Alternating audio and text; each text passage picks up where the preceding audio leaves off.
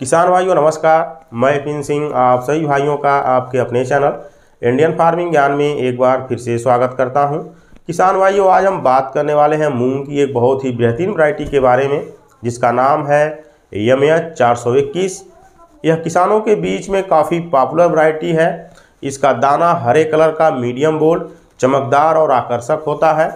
इसकी फली भी काफ़ी लंबी होती है और इसकी फली में दानों की संख्या की बात करें तो ज़्यादा संख्या में दाने होते हैं और इसकी फलियाँ पकने के बाद काले कलर की हो जाती है।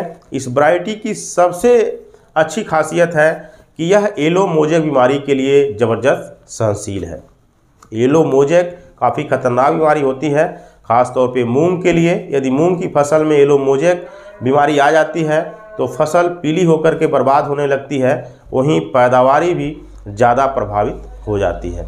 तो यह वैरायटी येलो मोजा बीमारी के लिए ज़बरदस्त सहनशील है और पकने के बाद इसकी फलियाँ तिड़कती नहीं हैं, यानी कि दाना झड़ने की समस्या देखने को नहीं मिलती है। यम एच चार की फ़सल 60 से 70 दिन का समय लेती है, लगभग दो महीने में यह पक करके तैयार हो जाती है। इसके बुआई की बात करें तो इसे आप 15 फरवरी से लेकर 15 अप्रैल तक गर्मी में कर सकते हैं। वहीं खरीफ में जून और जुलाई में इसकी बुआई कर सकते हैं। तो दो सीज़न के लिए यह काफ़ी अच्छी साबित होती है, एक ग्रीष्म ऋतु के लिए और एक खरीफ के लिए। तो दोनों समय में आप इस वैरायटी को लगा सकते हैं और इसका पौधा मीडियम होता है, फैलावदार होता है, पत्तियाँ भी चौड़ी होती हैं और फ़सल भी एक सार और आकर्षक दिखती है। इस वैरायटी से प्रति एकड़ पैदावारी की बात करें तो पाँच से लेकर छः कुंतल पैदावारी मूंग की मिल जाती है वहीं अधिकतम पैदावारी की बात करें तो आठ से लेकर दस कुंतल तक प्रति एकड़ अधिकतम पैदावारी भी इस वैरायटी से मिल सकती है।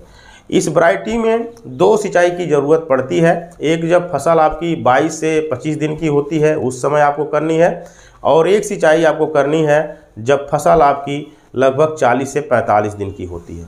तो आप दो सिंचाई करके भी एम एच मूँग की फ़सल से बहुत अच्छी मूँग की पैदावारी ले सकते हैं। इस वैरायटी की बुआई करते समय आप फर्टिलाइज़र में डीएपी या एनपीके का इस्तेमाल कर सकते हैं। और खड़ी फ़सल में बहुत ज़्यादा यूरिया की भी ज़रूरत नहीं पड़ती है। थोड़ी मात्रा में भी यदि आप अपनी फ़सल को यूरिया दे देते हैं तो भी फ़सल की बहुत अच्छी बढ़वार होती है और फ़सल से बहुत अच्छी मूंग की पैदावार भी मिलती है। इस वैरायटी को आप बीज की दुकान से खरीद सकते हैं। बीज की दुकान पर न मिलने की स्थिति में गूगल पे जाकर आप 421 मूंग वैरायटी सर्च करेंगे तो गूगल पर आपको बहुत सारी साइटें हैं जिस पर आपको यह बीज उपलब्ध मिलेगा। किसी विश्वसनीय साइट से आप जो है इस वैरायटी को खरीद सकते हैं। इस वैरायटी की एक खासियत और है कि इसकी फलियाँ जब पक जाती हैं तो तिड़कती नहीं है, यानी कि दाना झड़ने की समस्या देखने को नहीं मिलती है। इसकी फ़सल में पकाव जो है, एक साथ एक समान देखने को मिलता है। इस किस्म की बुआई आप पंजाब हरियाणा, राजस्थान, गुजरात, उत्तर प्रदेश, बिहार और मध्य प्रदेश आदि प्रांतों में कर सकते हैं। इस वैरायटी की बुआई वैसे आप उन सभी क्षेत्रों में कर सकते हैं जहाँ मूंग की खेती सफलतापूर्वक की जा सकती हो। तो किसान भाइयों, यदि आपको मूंग की एक अच्छी वैरायटी की तलाश है तो आप एम एच चार सौ इक्कीस को ख़रीद करके बुआई कर सकते हैं। यह एक काफ़ी नामी वैरायटी है और किसान इसकी पैदावारी से भी काफ़ी संतुष्ट रहते हैं। ज़्यादातर किसान मूंग की अच्छी पैदावारी के लिए इस वैरायटी का चुनाव करते हैं।